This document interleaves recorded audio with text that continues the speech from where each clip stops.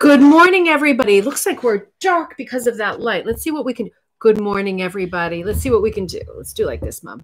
Yeah. Should we do like that? That's a little Sure. bit better. Is that better? Here we are this morning. You can see I'm with the mama. I block the light with my with my bulk. Let's see who's here. Happy And Christmas Eve, everybody.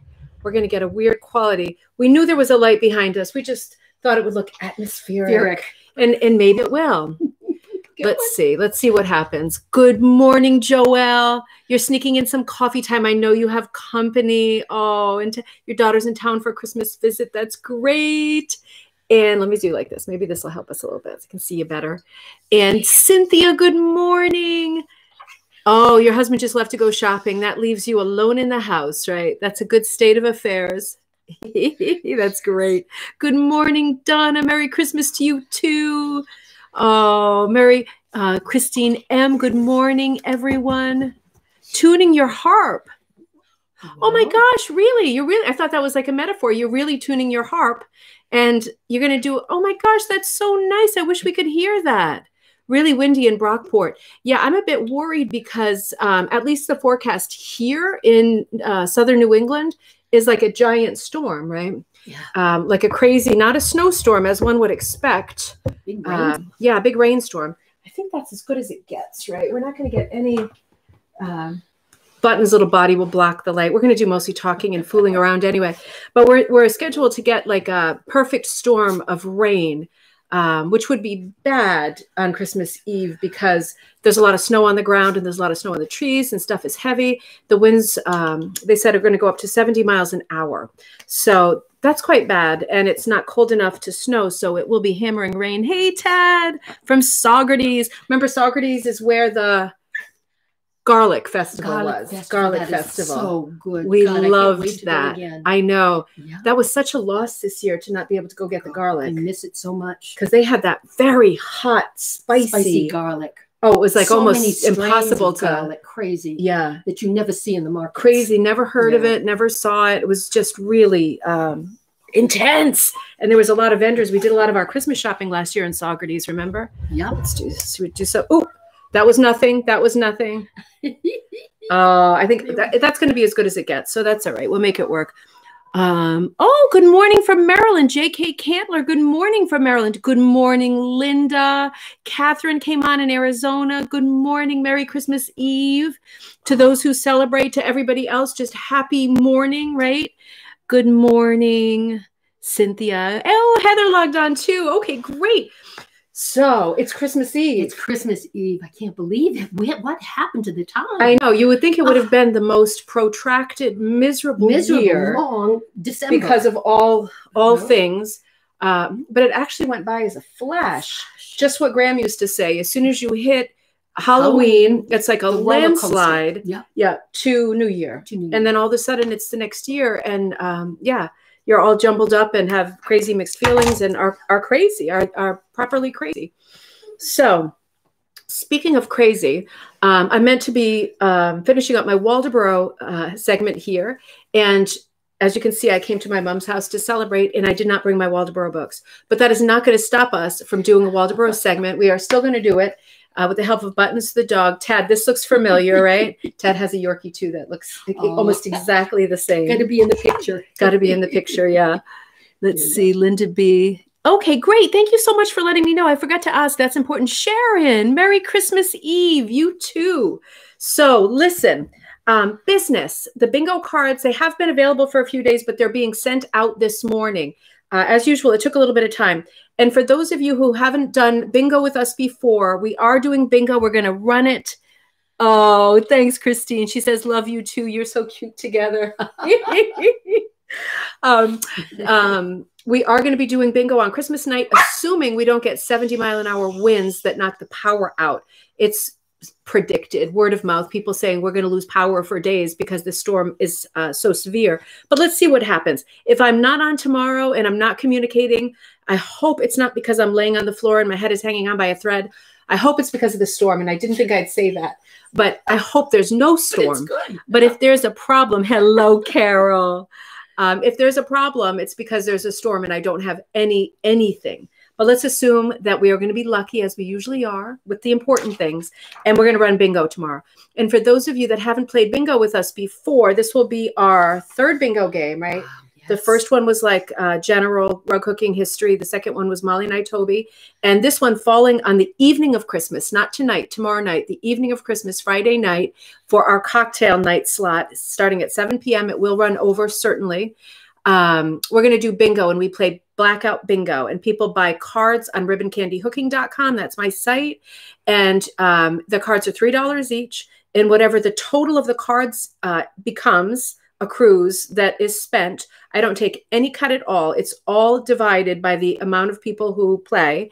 And then, however many wins uh, we have, we divide that. And I obviously cannot give you cash. That would be proper gambling, right? That would be probably frowned upon. Mm. Um, but you get a gift certificate to the store and you buy anything you want, even if you just want white Dorr wool or something like that, you can buy that with me. Um, or yarn, dyed, undyed, whatever you want, whatever you want if you're a winner. And if you are not, if you get a card and you're not able to play on Saturday, Friday night because you are celebrating Christmas with your family or you're doing something else, just know that I will know who has those cards. I will know who is issued cards number one through number 12. And if you won while you were doing something else, I will certainly notify you and let you know that you have a gift certificate and give you your code to spend the gift certificate. So you know that for sure. Even if you aren't able to play along, you are still able to participate. Now, Heather just said every Eversource, that's our energy company here, has told all employees that they have to work on Christmas. Oh, isn't that Oh, rotten? that's rotten. That's rotten. But I guess with this big storm coming, it's like it's just it's just one more of the greatest hits of 2020, right? It's like the gold the gold album. Oh, one more week after that. Oh, Betty, good morning. Merry Christmas to you and your mom, Betty says. Chrissy, Merry Christmas. So, a lot of people logged on today. So, listen, this is what the theme is this year. I said it and I'll remind you in case you haven't been tuned in. This is our bingo card. There's uh, 12 different cards. This one has Jam Santowich in the middle. That's that little character that Jocelyn, my daughter, has drawn and has become like a. I mean, so many people have hooked him not as Santa, but as just Jam Sandwich. And so he's the free center space. Now, this is one of 12 cards. A lot of people sent me images of cards that they had. Heather, you sent some that your grandmother had made in the middle 1950s. Wow. So all the all the rugs, if you sent me a rug on Facebook or on Ribbon Candy Hooking, it's too late now because the cards are done. But if you sent me a rug next time, if you sent me a rug, it's going to be part of the cards. I don't know if it'll be on the card that you get, but it will be part of our game. And otherwise, I picked a, a rug from each year. And when I call bingo, I will call, for example, the year 1952. And I will tell you this is musical bingo. I will tell you, or let you guess first, what the most popular holiday song was that year. So it's like a trip back in time uh, through all the great holiday music. It's not all great, is it? There's some really bad, ones. Oh, What's our least we, favorite one? we promise not to sing them. no. Well, no, we may sing them. It might happen because we'll have. Oh, we'll be Grandma like got run over by the yeah, Oh yeah, that's the worst one of all time. It has to be Grandma got run over, by, by the reindeer. Yeah. Um, but Tomo, my brother-in-law downstairs, maintains that even worse than that are anything that the Chipmunks sang on their Christmas Yes, album. yeah. You know, it's the arrangements are wonderful, but it's the actual voices that Get make you you. want to stab your eyes out, punch, punch someone. Yeah. So we'll play like that. It's musical bingo, and you will see a rug from the year. Somebody sent me this one. I remember this. This is from 2020, this beautiful weather vane. So if you end up getting a card, they're $3 each. You can get as many as you want. If you get multiple, you will be sent all different ones. You will not be sent repeats, all different ones. And if, if you feel that you can play multiple cards at one time, good for you. You should do it. Um, and then we'll have fun marking them off and we play blackout. So you have to get the whole card blacked out. Otherwise, the game's over in five minutes. So don't forget to get your bingo cards. Did you get your bingo card? I didn't. Right after this, I'm on. she got all I'm nervous. on. I didn't know they were re- available yet. Yeah. So, yeah. They've been up there for a few days. It's just I haven't been ready to email them because of the other craziness. So other business I want to catch you up on. Uh oh, here comes a little Do match girl. Come, Come on, on. little match girl. Come see. We haven't brushed our hair yet, but who cares, right? Who cares? She's still Who got her. cares? She's still got her. Halloween shirt on, or her Halloween hooker shirt on. You're gonna pull yourself together. You're a hot mess, huh? it's all right. We're gonna go out and do a couple little errands, right? Here, You're gonna sit down? It's Jam Sandwich. So I'm just going to show you this in case the picture is better today. Hello, Donna. Hello, Doreen. Hello, Christine M. Oh, you still have to use your gift certificate from your last win. Well, you can hopefully roll them together and have two wins, and you have twice Get as much stuff, to spend. Yeah. So, in case the picture is better, I'm going to be working. No, it's not better. Never mind. I'm going to be working on the. Um, How can you tell? well, because I can see it's going. The light's going right through it. There's like an Amish, Oh. a couple of Amish style uh, skaters in the middle, and then there's a giant um, uh, log cabin quilt around the edge, all to be hooked. I will show you that another time. But you know what? I felt so bad yesterday. Um, I was saying in our live Zoom chat, I was feeling bad because I'd said, you know, I'm not going to be doing the monthly. Um, good job, Joss. You want to knock some more stuff down, baby? Um, I'm not going to be. I said I'm not going to be doing the monthly thing anymore, the small one for I don't wanna beginners, because 10 by 10 is too small and it's not worth it, et cetera, et cetera. Um, so I felt bad about that, and I immediately started hooking a beginner kit for January. So I take it back. Um, this year, because I've already done a full year of beginner kits that were $45 each and will remain $45 each, always tons of wool in them, uh, lots to play with. Some are yarn, some are wool strips, some are fives, smaller, some are primitive eights, but they're all in the Ribbon Candy Hooking Store. And I will do one beginner kit for each month this year, but they will all be primitives this year, just to keep my mind busy and active. Um, I'm going to keep them all primitives. So the first one I did, let me get my uh, nanny, my needle nanny off, is this one. So this one will be coming out soon. It's really hard to see, even though we got great light. There we go. Yeah. It's like um, a tomato pin cushion. Let me see if I can show you the bling. Can't really see the bling. I hooked. That's incredible that you can't see the bling. There we go. I hooked with a metallic felt back metallic need to go down with Ted. um, so he doesn't come up. pins, like stick cushion pins. And on the heads of them, you probably can't see. I'll take a photo. There's different colors, like they're actual pins. Oh, good. She knocked down my water. all right. No, Yeah, at least it's water. Yep, she knocked it down. I was like, either the dog peed on my foot, which doesn't happen. Anyway, this is a tomato pin cushion. Really bad light. I'm sorry about that. But it's going to be a great pattern for beginners. And it's primitive. It's got a very busy multi background. I have a feeling it's not going to be a great color day. We have lots of um, greens. And I'm going to do one of those clover type leaves around the perimeter in pink, just as a joke, because they almost look like hearts, you know. Um, so I'm going to do one in pink and the rest in the greens. And then I had, um, I got the blues for the background, lots of different kinds of blues. And for people who are true beginners, um, you know, it's nice to do, it's nice to do a primitive. It's wide. Uh, it's a nice wide strip. It goes fast. Um, it's nice using these traditional sort of rug hooking colors. Poor, poor mom. For my- it's just water. And then the thing for this piece that I haven't got to yet is around the edge of the design on the outside here, right on the far side. This side is all like light blues and such. And on the far side, on the outline here, I'm going to punch it with a crazy amount of plaids. So again, if you're new to rug hooking, we are not getting good light, ironically, because there's lots of light. But um, yeah, it is a problem for glare. Well, I'll take pictures for the Facebook group, but the background border is going to be um, a bunch of plaids. And these are like Christmas type plaids. And if you're a beginner, you probably don't know this yet, but it's great finding plaids um, in thrift stores and things like that. The glare just doesn't go, does it? Um, it's great finding plaids, but it can be tricky hooking with plaids or any sort of recycled stuff. Do you want to transition over there? It's up to you because then that's like Yeah, you know what? Let me do you. that. Here, come with me. Hopefully we don't lose And I'll it. come back over to you, Mom. No, that's okay. I can get Yeah. a chair for your side. Oh, yeah, yeah, yeah, yeah. Okay, I'm going to bring the plaids. Hang in there. Because I think that's better. Yeah, let me come back here. Yeah. This we should have done this That's to better. start with. Sorry. Figuring it out. Uh, tomato. Does that look better? That looks better. And you can see I blinged out those little metallic strippies. And there's like a little stick pin on the top of each one. Uh, and here are the plaids. I only pulled the plaids that were kind of um, the traditional sort of black watchy plaids. Some light ones that have been, if you can see, over dyed a little bit. That's a fun thing to do when you get into your dyeing. Uh, and then some that are sort of more pinky. Good, good, good. And more traditional. I cut this one, I cut it out of a panel from a skirt yesterday. So I'm going to have to, it's real thin. And what I was going to say is if you're a beginner and you're not used to using plaids, um, they can be a real bear to hook because they little shreds, little thready, stringy shreds want to come out. And it's like, it is what it is. If you enjoy using beautiful traditional materials like plaids, you will have to deal with the possibility of getting a lot of little thready shreds on the top. But hey, that's what scissors are for, right? You get the effect that you want.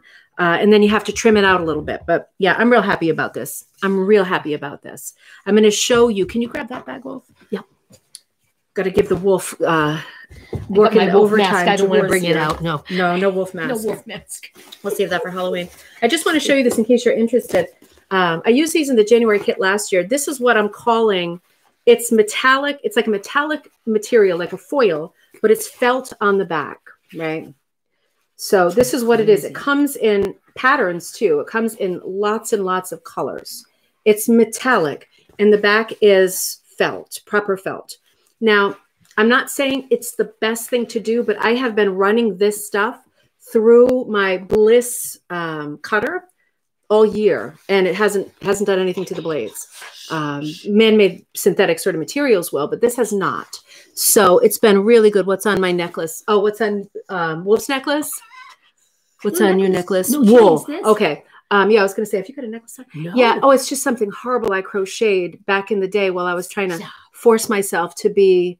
It's nothing. It's nothing.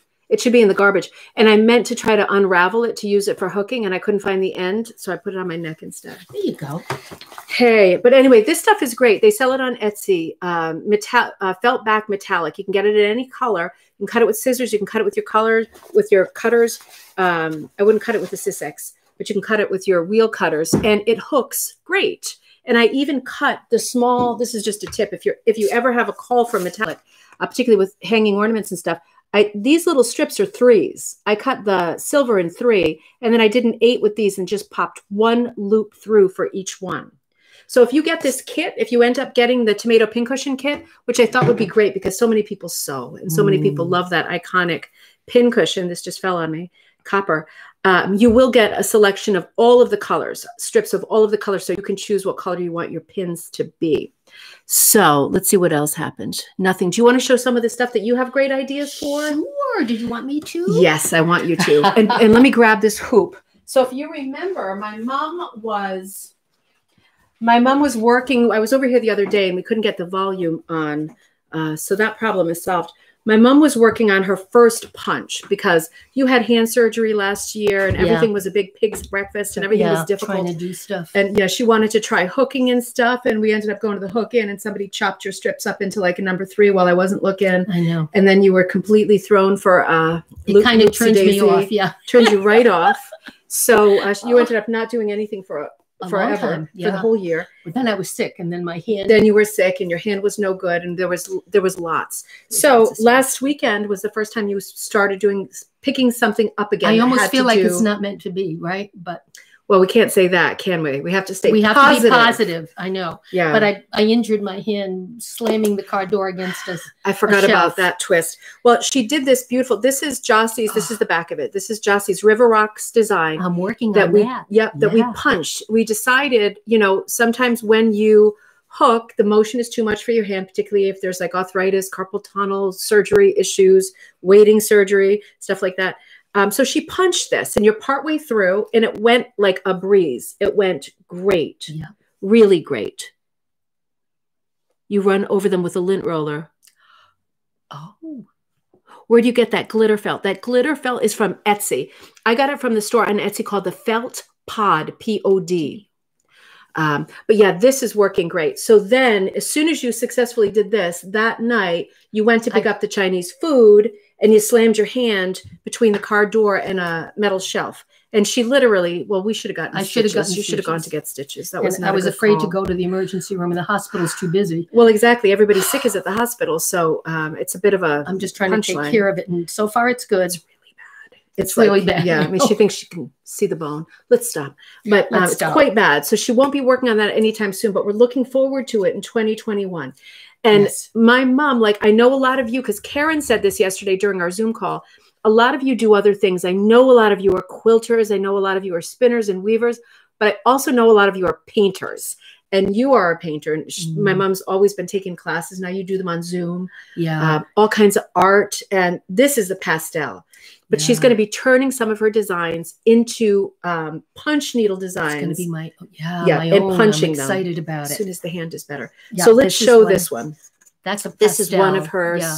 Um, really now this is gonna can you see Pearl McGown in this look at the background so you didn't think they'd be able to see the background but I didn't think so. pastel is hard you do you do really well with pastel Yeah, I That is do. my yeah. I enjoy them a lot, but that's like the kind of yarn that changes by Yeah. itself, or that's multicolored. Yeah. So it gives it a great background, and I I didn't even know until I looked at that. And That's I said, right. "Oh my God, that's just like one of the yarns you gave me." exactly because i gave her a big um, one of the good things about getting into punching is when your daughter dyes wool almost every night you get a lot of the wool that you need so i brought over a true. huge bag of yarn all kinds of balls and she feels that she has this exact background color in there so it'll be great you, you- this is an ambitious project this is basically a Pearl McGown right Mm. I mean, this is going to be, um, she's going to punch the background and then we're going to have to figure out whether it makes sense. Sometimes with punching, I feel like I can't, even with a fine punch, I can't. I'm not saying one can't. I'm saying I have not successfully yet gotten really fine detail punching that I'm super happy Feel with. good about yeah. So sometimes what I do in these situations is I punch the background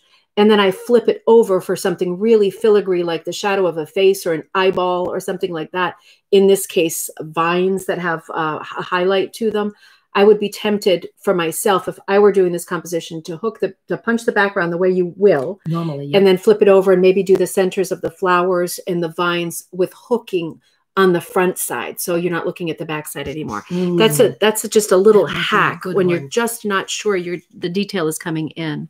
Yeah, that's really good. It'll make a great punch hook project. There's Carol. Carol came on. Uh, You want to show some of your other ones that you're going to did you do? want to see this? Should I put this? she does one? such nice paintings. This is kind of like a Gauguin style, and that's going to make a nice. I think so. that's It's gonna make a good nice background with the bluish, the blue and green. Does and have a good background. So we're going to work. I can do some more dyeing so we can get the colors right on these. Mm, But the point is, when you do something creative, you can cross it over yeah. into punch needle and rug hooking. You could and you should, and a lot You of famous people should, have. yeah. And we we've talked about a lot of famous people uh, in past segments, artists who have hooked. Right, that has been one of our most popular segments. We talked about Emily Carr most recently, and some of those patterns are now available on my page. Uh, and next week we're going to be talking about another artist who hooked, or at least his wife hooked his work, and that is Alexander Calder, who is Amazing. very well known, at least around here. I think he's I think just he's universally yesterday, right? very well known. I didn't know until yesterday while I was doing internet searches Searches. um, that there are a lot of Alexander Calder hooked rugs, and his wife um, hooked a lot of them. So that is that's something we're going to do. I think that's going to be a Monday thing for us. We're going to get back into the crossover between art, art and and hooking because why shouldn't you? I'm not sure. It's Oh, I'm going to be careful. What about rug tufting? I'm come. I'll come right to that, Kelly. So this is another one that we're going to try to translate. This is one. This did you do Another this one? pastel. Yeah, I did. that Holy mackerel, you did this one, Mom? The glare Yeah. on the glass isn't good. Another pastel that she did, like Rocks on the Beach, is very Cape Coddy. Um, yeah, we can do this as hooking. We can definitely do that as so, hooking. yeah. We can. Oh, it's going to be so uh, mild and pretty. one. Yeah, it's going to be a quiet one, but I think it'll be pretty. Yeah, it's going to be a quiet one. So Kelly just asked a question about tufting. Um, tufting is tufting refers to the pile of the rug that you're doing. So we're whether we're punch needling or rug hooking, we're, we're talking about rug making, and certainly like a carpet tufter, a tufting gun, doing any kind of tufting also refers to making something with a pile, usually a carpet. But I think for most of us, we don't make carpets. We make wall art. Certainly, you can make carpets. So something, if we're talking about like um, how to use a, a tufting gun, that will be a to be continued because I do have my tufting gun and that is a 2021 project for sure because I'm building a giant frame to support that kind of vertical uh, ferocity of this uh, tufting gun. But basically, if you are using a tufting gun or if you are using like an old time 1970s, in the 70s, there's a lot on eBay of tufting guns, the small ones that look more like the shuttle punches, more like those. Um, and what you're getting with a tufting gun is something that you can make a rug with a low or high pile, but it will be a clipped pile. So if you are hooking, you're pulling up loops. If you're doing something that refers to a tufted surface, then you have either clipped hoops or you are using uh, a different kind of technique, like think of latch hook, where you're pulling up the ends, not the loop. The loop is in the back and you're pulling up the ends. With hooking, you're pulling up the loop and well, the ends aren't on the back, they're on the front. But you see what I mean? It's back to forward or front to back. So tufting refers to when the loops are coming up and you're either clipping your loops to give you an all cut surface, meaning pile, or it's more like a latch rug, which we sometimes look at, which are also beautiful and should not be dismissed as crafty because they can be super artful. You're pulling those up for a tufted finish. Now, oh, good, your tufting gun is coming. That's great. I'm going to warn you, Kelly, and I know a lot of people know this. I was very late to the tufting gun game. I got the loop gun because you can get the um, like the tufted cut pile. So then you have a latch hook finish with the ends up or you can get the loop pile. So I got the loop pile because my intention is to use it like a punch gun. You can control the speed, but even on the smallest speed, it goes quite fast and it can get away from you. And unless you're doing large abst abstracts or abstracts, I think of Crystal when I think of this because Crystal always does, um, and given Campbell, she posts a lot on our page, does very um, simple lined punch projects. And this would be great with um, with the gun. But for me, it goes even on slowest quite fast. So I will be demonstrating the gun hopefully in the next week or at the most two, as soon as that frame is finished in the new space. And then I would be looking to flip it and get detail the way I just described by hooking the detail in the end. Because with that gun, you will never get detail. You can't slow down to the extent where you could get great detail. But you can get your background in fast. And that is a nice feeling to get that much done, right? That would be a great feeling. So did somebody ask another question? Run over textures with a lint roller to get rid of threads. Yeah, no, that's a great idea, Liz, to run over with a lint roller. Sometimes they're completely attached and tangled like back into the backing cloth. And then I do a bit of clipping, but it's good to, um, oh, it's good to do lint roller always. Kelly says um, she's collecting abstracts from the 40s and 50s. Oh, now that is good. You know, there's there's so much to be said. And when we get to the Alexander Calder segment, on Monday, um, we'll certainly be looking at abstracts and shapes. And you, you, also should remember for yourselves when you're planning your designs, if you're trying to make a transition between fine art and hooking or rug making of any kind, um, think about, you know, think about people who are not in the public domain whose work you can use, right? People who have been dead for more than 100 years. You've seen a lot of Van Gogh rugs, and there's a reason for that it's okay to use his images because he's been dead for over 100 years and they're copyright free. Now, not so for Alexander Calder, right? Because we're still seeing his work in the 50s and 60s, 1950s and 1960s. So that won't help with mid century modern. But when you think about other artists who have been um, sort of brutalists or cubists, um, sort of Matisse type artists who are very shape driven or have crossed into other crafts like paper cutting. I'm thinking of Matisse, of course, Chagall type stuff. Very shape driven stuff will work great for hooking and punching and will work great with um, any kind of a gun that we're talking about, these high powered guns that plug in, because you can get a lot of coverage very, very quickly. And of course, you become refined at it sooner rather than later. It's not like a machine gun that just, you know, it, it is the first time, but it, it's quickly not. So all of that will be fun to talk about. And it will be fun, I think, to bring a 20th century artist like Calder mm. in at the beginning of the week next week because um, he is so he is so well known and he is so iconic. Not everybody knows the name, but I think you'll know the work. Um, and it's so great to think about that style. Again, he is under copyright because he's he's 20th century, but to think about that style and just sketching, sitting sketching, taking some time for yourself and coming up with some very simple compositions that are shape driven that you can translate into very easy projects, particularly if you're a beginner. Uh, currently, a machine. Okay, so Ke Kelly is a machine um, knitter and rigid heddle loom. Okay, so you, Kelly, you're going to have no problem. You can do a video and then send it to me and show me how to do it because you're going to be way better at it quicker. You've already got like the machine part of it down. Donna says, why wouldn't you hook the detail first and then flip it and punch the background? You could easily do that. You could certainly do that. I always do the opposite, but it's just a personal choice. Um, some people like to do the fine detail first. Some people do it last. I'm a do it last person for sure. Uh, and there's no right way. I mean, people will tell you there's a right way and a wrong way, but there's no right way and wrong way. I prefer to do the detail last. Everything, once it's in its place, its place, then I can fool with that little crescent of color or whatever that's driving me crazy. I can fool with it at that point. And I feel for myself, like when the detail goes in last, I have a complete picture of the rest of it. And that little bit of detail is the only thing that's outstanding in my mind, uh, niggling away. And I like to leave it to last because if I do it first, it could be that the colors evolve differently than I planned or I change things out. And then that little bit that I've done so perfectly, I end up removing anyway because it no longer gels with what I have evolved. So it really depends on how you work. It's like the people who say like, do I start in the middle or do I start on the border? Is it like a puzzle? Do you put the edges together first? It, it's what people will tell you there's a right way and a wrong way, but I always say it's not like needlepoint. If you do it in a different order, you're not going to get a diagonal stretch. You're just going to get one part done quicker than the other, and it will only depend on you uh, what part you want to get done sooner rather than later. We are already out of holy mackerel, but you know what? Let me just do this real quick. See how it goes. Don't it go fast? So fast? I didn't even get to have a sip of my thing. Um, eggnog time, right? It's 12 Eggnog o'clock. time. It's Oh, definitely yeah. time to have some eggnog.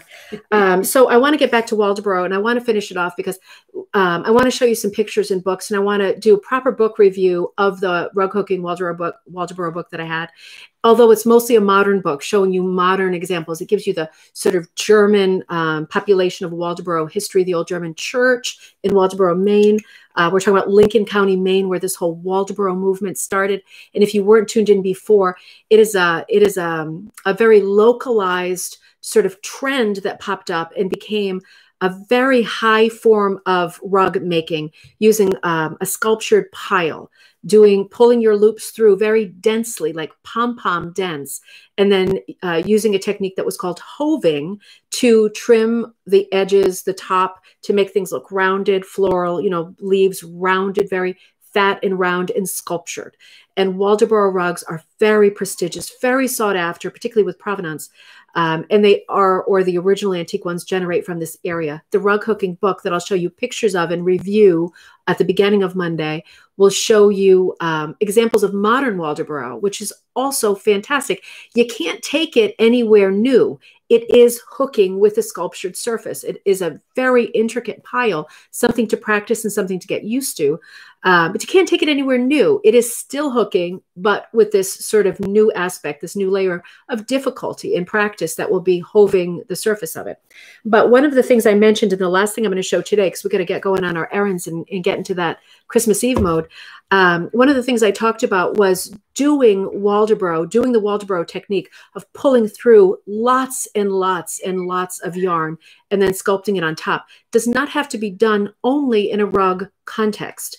You can do Waldoboro style hooking on anything. And I'm going to show you an example of it on like, what would you call this material? Like not cotton duck, but um, cotton twill. This is probably like a South American. I'm going to unroll it example. Um, but the classic example of doing Waldoboro when you are not doing the entire rug and you're just doing a raised effect with height on something else. I'll show you the whole thing, but this is obviously a raised effect, right? Um, you can do it straight onto backing and you just play with your backing, figure it out. It works on denim, it works on cotton, it works on linen, it works on most things. And you will see early examples, 18th century, 19th century examples of Waldoboro not in a rug context on a plain backing. And in those cases, it's called feather tufting. So this is officially, although this is a bit of an ethnic example, I found this at an antique store for like $10. It's a giant um, sort of banner. I can show you this again on, we can start with this on Monday. But you can see there's a lot of color. There's a lot of texture. It has all been um, punched on the back. You see little rows and stuff, but I just want to show you how fat and fluffy it can be. It's like a little pom-pom and it's worked on this stiff cotton background. Um, this image of birds. I mean, very pretty. It does have a bit, it is a bit of an ethnic looking thing, but it does also have a real Art Nouveau feel to it. Sorry, art, well, more art, yeah, Art Nouveau than Art Deco. But I thought it was exceptionally pretty for what it cost. Mm. And you can see the person tried really hard to get multicolors going in there. The things you find at antique stores for under $20, I'll tell you, get going right and right after the holidays, they're all going to have sales. But you can attempt your Waldoboro right on a hoop on a Mhm. backing that you already like and you just leave it. You don't have to hook the whole thing and turn it into the, the work of a lifetime. You just hook it and practice doing something like this on a backing that you like and see how it goes. Just see how it goes. But anyway that's one of the many possibilities. Do you love that doreen? Off subject. Oh, Doreen, Doreen got her shingle shot yesterday. Thank you for saying that. It's worth reminding people because you know I just had shingles recently, uh, and it is not fun. And I caught it the first day, and I was I was very very lucky that they gave me the medicine and it, it was as quick as it was. There were some moments of zings that were pretty agonizing. Um, yeah, super disruptive. Just but get ago. your shingles shots. I'm in my 40s still, and they don't even offer it when you're this young. You have to be a real hot mess, really stressed to get shingles in your 40s.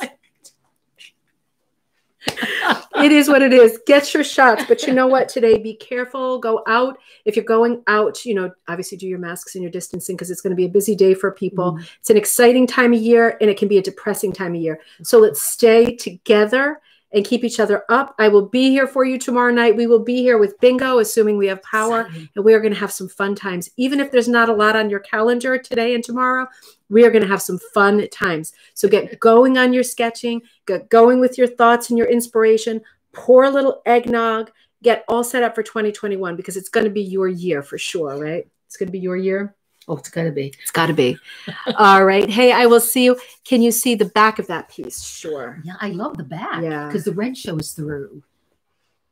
So you see like the winding around the little flower leaves in the so you can see its punch because you can see the trails, you know what I mean?